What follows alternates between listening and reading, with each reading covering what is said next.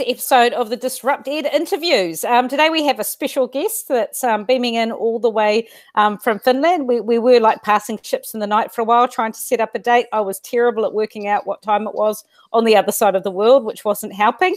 Um, Lasse is joining us from Finland and he's part of um, the HundrED group, I guess is what you would call it, and has done a whole lot of work um, with schools from around Finland, but increasingly around the globe. So I will let um, Lasse introduce himself and, and maybe introduce his context as well. Welcome. Thank you for joining us. Thank you for the for the invitation. It's it's a pleasure to join the DisruptED TV. so yes, I'm part of the part of the HundrED. Uh, I work as executive director uh, in our organization, and and like all of us in the education field during the last weeks and months, we have been extremely focused on the effects of uh, COVID COVID nineteen pandemic, uh, which have been affecting the 1.5 billion students' lives at, at, at the point, and the number is growing. So mm. so that is that is where our focus has been during the last last few weeks, trying to identify solutions and practices which could potentially help teachers and students around the world to get through the this this very special time. Uh, mm. And so, do you want to tell us a little bit about the background of HundrED in, in terms of what you're trying to achieve? Because I imagine it's something that actually there might be a number of New Zealand schools and educators that have something to contribute to that project as well. Well, we have been picking up the the finest from New Zealand since our head of research is actually from Auckland, Chris Petrie, and uh, he joined us, us last year. Uh, so we have some strings attached to New Zealand as well. But how everything started for us in, in 2015, HundrED was created as a celebration project for uh, 100 years of Finnish independence. And uh, our aim in the beginning was to highlight 100 Finnish solutions and practices, uh, package them well, and give them as a gift to the world, um, and, and to celebrate the excellent Finnish education system. And, and while we were doing that, there was a growing number of people around the world saying like, hey guys, you should actually be doing that for international education innovations as well. And we maybe thought about it for five seconds and then we decided, okay, let's go for it. So this is, sounds like an ex excellent idea. And since 2017, we have been already always publishing 100 inspiring educational innovations around the world. And, and then on top of that, we are doing a little bit smaller collections, which we call spotlights. And those are always focusing on uh, some certain theme or specific region and how the education innovations can can improve uh, the education system in in that context. So at the moment we are we are working totally globally, and I believe our team is having internal team is having seven different nationalities.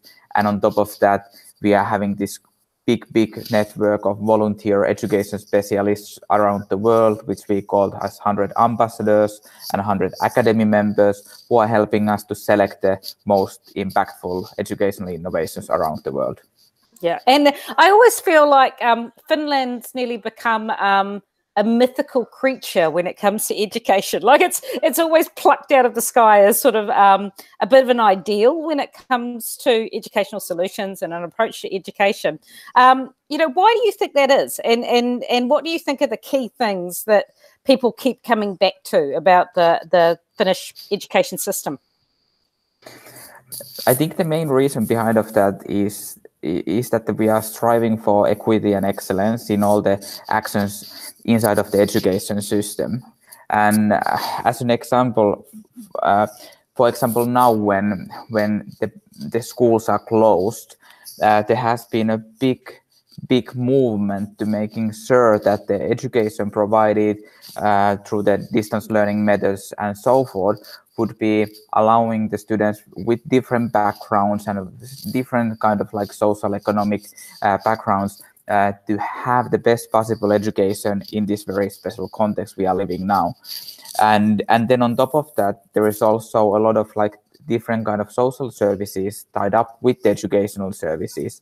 So, uh, for example, in a capital region where I'm currently in a lockdown position, we are we are offering free school meals still for the students. So parents can, can go to the schools, pick up the meals for the for the kids for for the week, uh, mm. and and that's kind of like how the society and the educational system is trying to provide that kind of safe environment for the students and young people in general so that the learning could still take place even though the situation is is quite extraordinary. Yeah yeah. So it's not all just about technology and digital divides. It's about um, really addressing the social and economic divide and doing it at quite a systemic level. Like here in New Zealand, we've got plenty of schools who have jumped into that space and who have tried to um, um, you know, address those issues. And we have some um, not-for-profits that um, do some programs around providing some meals. But it, it, feels like it's quite patchy. It's never been at that complete system level.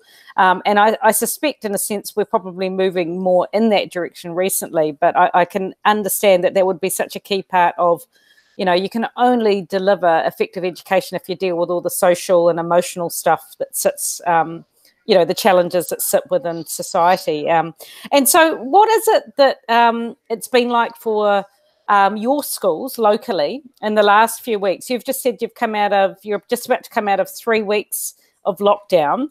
Um, what has that looked like in Finland? How did you manage that? Well, I think there has been as as many different stories than there is people in a lockdown at the mo- at the moment. So, uh, what happened in Finland? Uh, some three weeks ago, uh, the government declared that okay, this is now uh, becoming a national emergency, um, and uh, it it was decided that the schools will be closed um, with few exceptions. So, for example. Um, if you are working in a in a special occupation as a in a health sector or in a security sector or so forth, you have been still able to bring your kids to the schools. So so the society is trying to make it sure that all of those people we are really much needing at the moment will be able to do what they do best. Yeah. Uh, and, and then uh, like I mentioned earlier, still there are some social services provided through the schools, like the school meals for the ones who are needing it.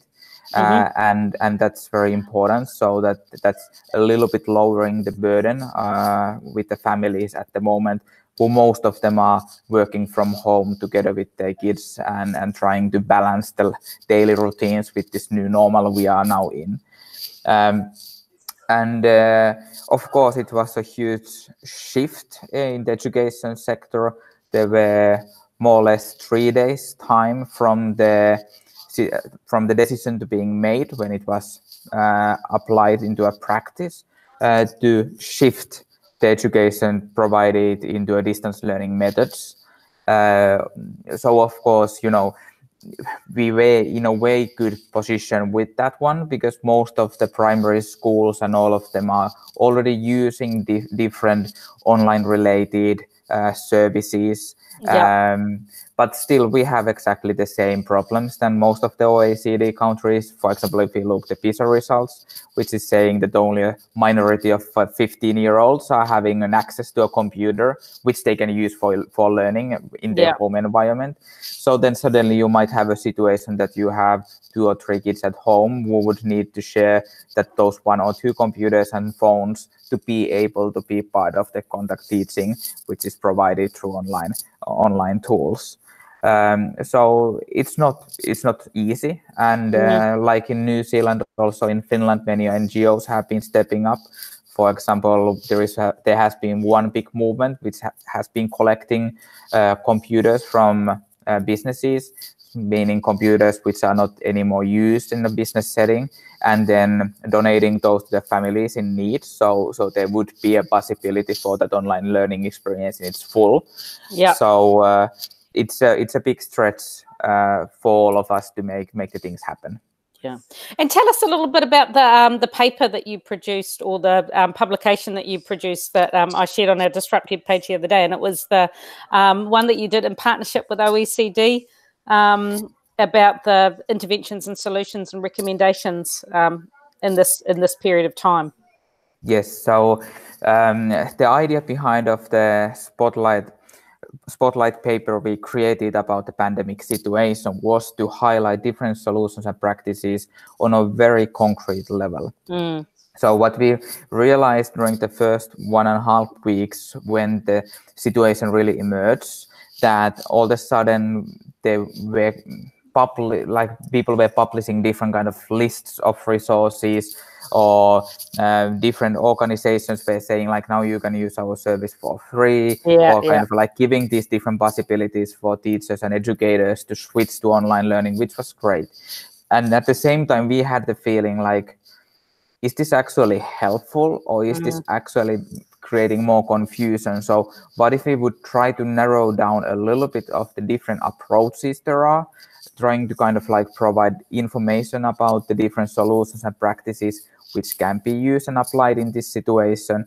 So then together with OECD, we wanted to first create this kind of overall picture uh, of, yeah. of the situation and then to highlight which are kind of like the high quality resources like provided by National Geographic or some other big corpora- corporations and organizations, but then also which are kind of like the highly scalable and impactful innovations, which seems to be working and emerging in this situation quite well.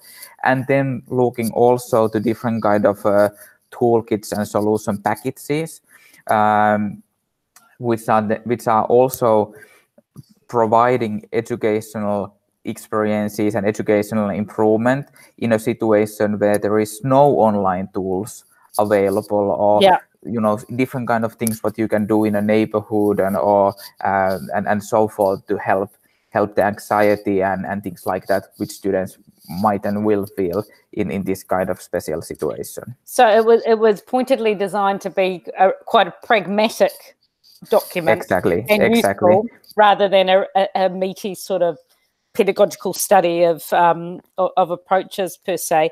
Is, is, there what are your plans um, in terms of what to do next in terms of gathering stories around um, innovations? Because I think the tools and the technologies and the materials are really important, and um, they're definitely, you know. I think I think you're absolutely right. We saw the same thing here in New Zealand, with all of a sudden every supplier known to man suddenly offering you a free trial for the next few months. Um, you know, and um, we as a school came down really hard on that and said, look, less is more. Um, you know, less is more is going to um, really serve our students well. But um, then our really big um, piece of work now is is come right back to sort of the the pedagogy and actually working out what matters in terms of um, we've discovered very quickly that you need to par it right back to threshold concepts and skills. And it's been a really interesting exercise in our teachers working out what matters because I think it's become very clear very quickly that you're going to have to actually, we're now facing potentially weeks and weeks of our students working remotely and from home. Um, and, you know, as well as powering everything back, everyone keeps coming back to the thing that actually what they care about most is well-being. and and looking after the well-being. Now, you you mentioned some other work that you did in the past that was around that well-being space as well. And um, have you seen a real step up in um, solutions and strategies and interventions that are uh, that are focused on the well-being of the young people? Mm-hmm. Um, we have been putting together a blog post together with good colleagues from Brookings Institute from Washington D.C. and. Uh, there are like three things we were planning to highlight in that that upcoming piece of work and uh, one of them is that like we should be focusing on the systems and solutions we have been already using in this situation. Yeah. So in a way, like you were also mentioning, let's try to reduce the noise. Let's try to kind of like create this, that safe environment mm. uh, where we can we, where we can make learning happen. So I think that is like the first principle, uh, because if there is a lot of confusion and a lot of new things which you have to suddenly learn in this this situation, it will increase the anxiety among the students, and yeah. which will then automatically lower the well-being uh, uh, and student motivation as as well. Then the second piece is is that we should be sticking with quite simple solutions and simple practices, at least in the beginning. So we have to make the students familiar with the situation. We have to support the parents to keep up with the with the learning happening at home. Um, and and most likely we have to be able to help parents to have those pedagogical discussions because now the students are at home and yeah. I, I think it might be also a beautiful thing in many cases uh, so that the parents are actually seeing how the learning process is happening and and also having a first-hand experience that the learning experience might be a little bit different uh, than it was when they were at school. Yeah um, yeah and and then the third thing is that that the teacher should be paying a lot of attention towards the students who are needing the extra support who might not be in a lucky situation to have a super supporting parents yeah. uh, but and and uh, and the teachers should be able to and i know it's a lot to ask they should be able to have a leadership in that learning process also with them and find time to have a phone call have a time to have that video chat and yeah. to see how the student is actually doing because what is all already now very visible is that this situation will hit the hardest the ones who, who would need the education and the school support the most so yeah. we, we are for example seeing in our finnish context that there might be some students who are not you know joining the online lessons who are kind of like dropping out from that loop and it might not be only so that they don't want to do it by themselves it might be so that the family is not supporting there might no there might be no computers or internet yeah. access or something else so that they could be part of it yeah. and and uh, that's something where we should be paying a lot of attention at the moment because otherwise those problems might be becoming bigger for the next school year yeah. And and what's your timeline looking like now? You're at the end of you said three weeks of full lockdown. Um, and mm-hmm. did you say that was being lifted now? What does that look like for you? Does that look like students going back to school completely or optional or what? Well, the travel restrictions are now being lifted inside of Finland, so mm-hmm. so we are free to move around. It's not uh, suggested or uh, so we should be staying where we are at the moment and and and prevent from all unnecessary travel. Um, and then at the moment, the schools might open up again again in mid-May, but it might change. So this, yeah. this, so the students are still learning from home at least for one more month. Well, okay, so you do have some ex, um, extended remote learning time, and and one of the big conversations we've been having here in New Zealand, and this is this idea that we're actually got this sort of once in a pandemic opportunity to design a new normal for our schools, and um, big conversations about how we can leverage from what we're learning in this context and make changes to our school system when we come out, you know, whenever that might be, come out of the other end of all of this. And one thing that's um, really struck us, particularly as a senior school, is the desire to have a far more self-directed style of teaching and learning because actually if you want to be agile and you want to move in and out of these spaces it, a lot of it relies on that sort of learner agency and their ability to be able to effectively lead their own learning um, is there a sense um, in in finland that you, you this will result in any changes within the wider system beyond lockdown? Uh, that's an excellent question, and and I, I believe like it remains to be seen at the moment. So yeah. we are fully focusing on providing that good quality education for all in in this very special situation. Luckily, the Finnish um, curriculum is quite flexible. Yeah. So what what many of the teachers are saying at the moment they have been trying to use project-based learning methods and and using this this this situation as a something where you can also learn or then to tie up the normal household related task to a learning mm. processes like okay today let's learn about recycling what what how does the waste control at your home look like? So so are you kind of like recycling and this is what you could be doing? And maybe take out the trash and at the same time help out the parents a little bit. Yeah so, so, so kind of like so kind of like trying to trying to use clever ways to tap into the family life in a way that the student is also helping uh, in, in the situation Yeah, yeah, and we, I think we we uh, we actually as a school have a real focus on project based learning. We we collapse our curriculum on a Wednesday, and so our students it's a really normal part of their being. And but I, I also think we're seeing a real spike in people contextualizing the learning. I suspect that's that sort of similarity that we have with Finland is that flexibility of our curriculum and our teachers actually having an incredible amount of um, freedom to be creative with how they deliver the teaching and, and the learning. Um, so, so just in closing, can you tell us a little bit how can people get in touch and find out more about the work you're doing and any ongoing um, publications that you develop around this this sort of area?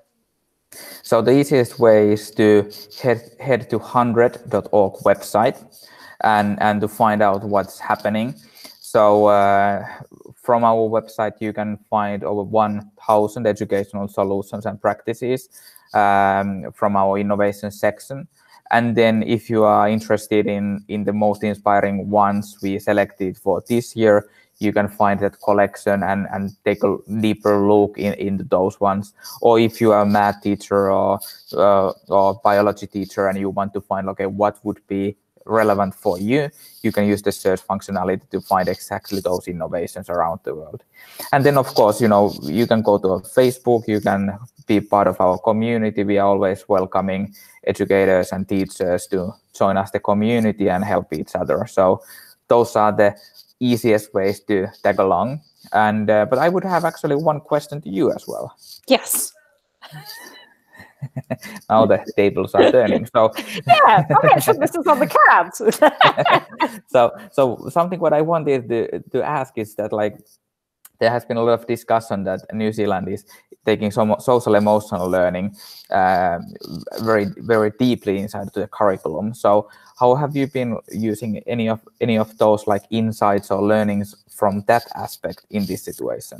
Um, I, I think it, it, will vary from sort of age group to age group, but I, I, know in the last two schools I've been. I mean, yes, we do have um, health and well-being. I mean, as a country you know we've, we've got a well-being focus around our um, economy um, as, as a measure of success. So it's very much a, a whole country focus. But yeah absolutely health and well-being and we refer to it as hauora a Māori term for um, sort of holistic approach to well-being is a huge part of the New Zealand curriculum. But what we're seeing I think particularly in um, our secondary schools and and the last two schools that I've been lucky enough to be in leadership in, Hobsonville Point Secondary School and now at Albany Senior School. Um, and a number of um, the more recently opened schools have actually broken down their curriculum into three distinct areas. And so rather than um, the specialist subjects and the learning areas completely dominating the week. Um, there's a number of schools now where we have three prongs to our um, curriculum design. Um, one third is the specialist subjects and the learning area, and for the most part in those schools, those are delivered and really connected and um, sort of um, in, in, in modules where subjects are, are, are combined and connected and um, sort of delivered in more thematic ways and approaches. Um, all of us have a real focus on project-based learning. So um, most of these new schools now have a dedicated day or, or most of a day a week where we collapse the timetable completely and students are engaged in project-based learning that is about serving the wider community, making an impact in their community, um, and creating a product or a solution or a business or something that's very much about meeting a very real need or solving a very real problem.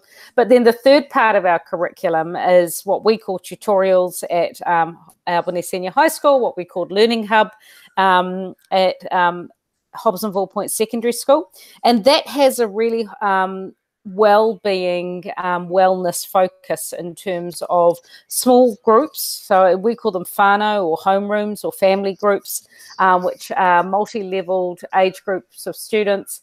And um, they are given a decent timetable chunk of the week. So um, for instance at albany senior high school that looks like 200 minutes um, where a week where they're set aside to have a really one-on-one -on -one connection with that adult and um, it is their job to um, sort of support the well-being of the student, help sit alongside them as a learning coach to make sure that they've got goals, but also to help them um, to construct sort of plans around looking after their well-being um, in a in a holistic sense, and and to work alongside them um, and support them in a in a far more sort of one-on-one um, way. And um, most of these schools, um, Albany included, tend to have a, a, a, sort of a curriculum that they've correct, constructed in that space. And for us, it's about health and well-being. It's about financial literacy. It's about um, career and life skill planning, um, and it's about citizenship and those things that go beyond the traditional subjects. So that's a, mm-hmm. a big part of it. So um, and I, I think increasingly, um, and particularly, I think that will be our, our change that we see that will come out of this period is that everyone, I've like, I work with a lot of principals around the country, and everyone's whole thing is don't really care about assessment at the moment. You know, yep, we care about learning, but actually, the number one thing we care about is that our students um, are, are okay and, and looking after their well-being and the care of the learner. And um, it's really interesting because we're just about to have sort of national level announcements about what we're going to do in terms of our qualification framework um, next week because we're, we're, we're sort of at the beginning of our school year. Our school year goes to November, December. And um, I have a sus- sneaking suspicion that our ministry underestimates the impact that this is having on the learning and so therefore won't actually reduce the expectations and i have a feeling that our principals are just going to make the call themselves that actually it's not the priority for our students this year because actually mm-hmm. what matters is is yeah. the well-being and it's affecting your school system much more than ours because mm. you know we are one and a half months away from the summer holidays at the moment yeah. so kind of like teachers and everybody are like praising it together like okay yeah. we have to be able to go one one and a half months more and then let's have a break and let's think during the summer how we will build up the next school year but yeah. you are in a in a kind of a like moving yeah. train already by now and uh, it will have a tremendous af- effect to the rest of the school year yeah absolutely and um you know we're just heading into winter and um you know and we've got something like they moved our school holidays forward so we've got a 12 week term ahead of us and we're all going what are we doing? okay, yeah. we're doing this all from home. Okay, let's work it out. But it's it's really, in, I mean, one thing about New Zealand is we do have that flexibility of our curriculum. Our schools do have an we have self-governing schools who actually, as long as their boards of trustees are on board, can be incredibly creative and innovative in how they deliver teaching and learning. And it's going to be an incredible opportunity for people to exercise those freedoms. For the most part, people haven't. I think we've just carried on as a country delivering relatively traditional education, but with some real areas of innovation and pockets of innovation. Um, but I think we've seen, in terms of digital pedagogy, we've seen things shift momentously in a matter of weeks. We've mm-hmm. seen our government step in and provide a whole lot of technology, and deliver, they're now couriering the you know laptops to homes um, to try and close the digital divide and modems to homes to try and make sure that as many homes as possible are connected. So um, I, I hold out hope that we will have actually moved the digital infrastructure and closed the digital divide and have forced our schools to be creative in a way that they haven't had to be for a long time. And I feel quite optimistic. I think it's going to be an exhausting year but I'm optimistic that we'll get some wins out of it in the end.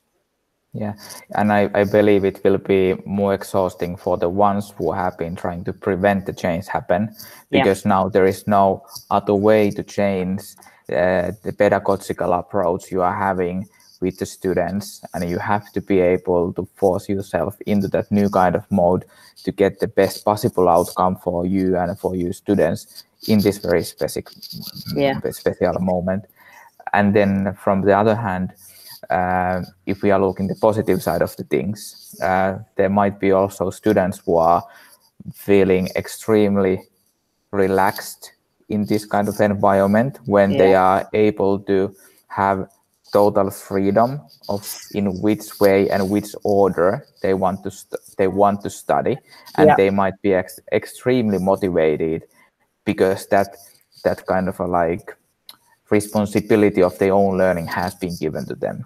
Yeah. Uh, and then at the same time, like mentioned earlier, then the ones who are having more problems with their learning processes might be now in, in a real danger of dropping totally out if the teachers are not able to contact yeah. them and and and giving that supporting hand hand for them when they are most needing it and so i believe that after this crisis there will be a lot of interesting case studies to go through uh, some of them are good some of them are bad yeah. but then at the same time both of them are helping us to build the better education for the future gotta hope so eh Awesome. Thank you so much for joining us this morning for you, evening for us. Um, I've really appreciated you making the time and thank you for letting us jiggle it the day out so I could pretend I was still having something like a wedding anniversary here in New Zealand. Um, um, really do appreciate it. I'll make sure I link up to your website and to your Facebook group under this interview, and I'll make sure I share this with you um, when it goes live. And thank you to everyone who's watched the interview so far. And once again, I've failed at my attempt to keep the interview short because I just keep talking. Um, so um, thank you so much, Lasse. I really do appreciate you joining us in this interview today.